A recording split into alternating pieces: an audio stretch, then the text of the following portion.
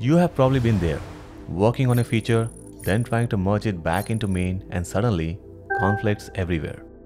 Now the big question pops up. Should I merge or rebase? Let's break it down in simple terms. Git merge versus Git rebase. What they are, how they work, and when to use which. And hey, if you have watched my earlier videos on Git workflows, you already have the foundation.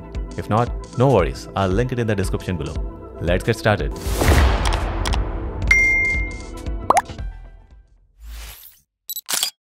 Let's say you are working with two branches.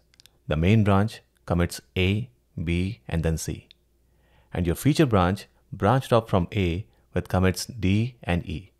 At this point, your team might have already pushed B and C to main while you were working on D and E. Now you want to bring your feature back into the main line. So, do you merge or rebase? Let's look at both visually and conceptually. With git merge, you simply combine the two branches. Think of it like joining two rivers. They converge at a new point. So you run git checkout main followed by git merge feature. Now, git creates a new commit, let's call it e prime, which ties together both histories. No changes to existing commits, just a new merge commit that says, hey, I joined feature and main here. So here, the commits D and E stay exactly as they were. Their commit IDs remain unchanged. This means the original branching structure and all commit metadata, timestamps, authorship, etc. is fully preserved. And that's why they say merge preserves history.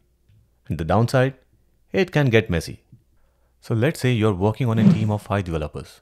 Everyone creates a feature branch from main and merges back in after their work is done. So your history might look like this after a few merges. Here, F1 to F6 are feature commits from different branches. M1, M2, M3 are merge commits. Now when you run git log oneline graph, you will see a tangled tree of branches and merge points. Yes, everything is there, but it's hard to follow who did what, when, and why. You might see duplicate commits, merge noise, or commits out of the order. That's what we mean by messy history. With Rebase, you replay everyone's work one after another in a straight line. Easy to read, easy to bisect, and easy to debug. But again, it comes with trade-off of rewriting history, which isn't safe in shared branches. Now let's talk about Rebase. Instead of joining two branches like rivers, Rebase moves your commits and places them on top of the current main. You run git checkout feature followed by git rebase main. Git reapplies those commits D and E as new commits on top of C.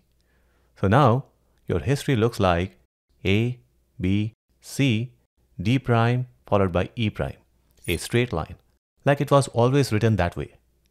The good? It's cleaner history and easier to follow. However, we are rewriting history. Now when you run git rebase main from your feature branch, git replaces your commit D and E on top of C. But in doing so, Git creates new commits, not reuses the old one. So even though the code may be the same, the rebased commits are A, B, C, D prime, and E prime. D prime and E prime are new versions of D and E. They have new commit IDs, and technically, D and E, the originals, are no longer part of the main history. So yes, your feature is still there, but the original timeline is rewritten and that's why we say rebase rewrites history. Git is smart. It keeps them around for a while in case you want to undo or recover. They are stored in what's called reflog or reference log, which tracks all recent changes. But after a certain time, usually 30 days, if they are unreachable, Git's garbage collector, Git GC, will eventually remove them to free up space. Now technically, the original D and E still exist temporarily in your repo until Git cleans them up with garbage collection. They are not immediately deleted, but they are not referenced anymore.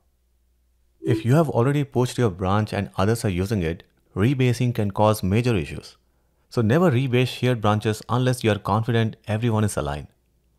Both merge and rebase can trigger conflicts, especially when two branches touch the same line. With merge, you resolve conflicts once in the merge commit. With rebase, you might resolve conflicts in each commit as Git reapplies them one by one. That's why many teams prefer merge for safety and rebase for local cleanup. Let's say you are working on a checkout flow. You branched off main last week, and since then, your teammate added coupon support and pushed it to main. Before you open your PR, you run git fetch origin and then git rebase origin main. So now your work sits on top of their changes, clean and conflict free. Your PR shows only your commits, which is super neat. But if you're collaborating with others on the same feature branch, stick with merge. Here are a few tips. You use merge when collaborating on shared branches. Use rebase before opening a PR to tidy up your local commits. And avoid rebasing public branches unless you coordinate with your team. And finally, use git pull rebase to reduce merge commits when pulling from remote. Bonus tip, use git log oneline graph to visualize the difference between the two styles. So, merge or rebase? It depends on your team's workflow and what you care about, clarity or safety. Merge keeps history intact but can get messy. Rebase rewrites history for a cleaner log, but you have got to use it with care. And if you want to master more Git magic, check out my earlier video on Git workflows, feature branching, trunk-based development, all that good stuff. And if this video made Git a little less scary, give it a thumbs up, subscribe to ByteMonk, and let me know in the comments for more dev-friendly breakdown like this. See you in the next one.